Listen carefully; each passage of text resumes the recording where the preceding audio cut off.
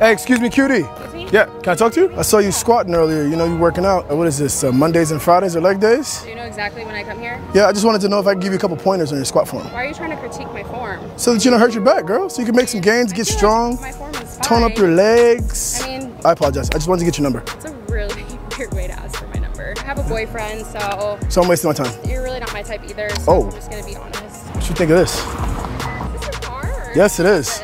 This? Yeah. It's like my dream car. Take a picture to last longer. Here, go over there. Take a picture of me with it. Just me, if that's okay. Yeah. Oh, Thank you. thank you. How about um, you show me a couple squats Bye. for pointers for you know topic of conversation. One, two.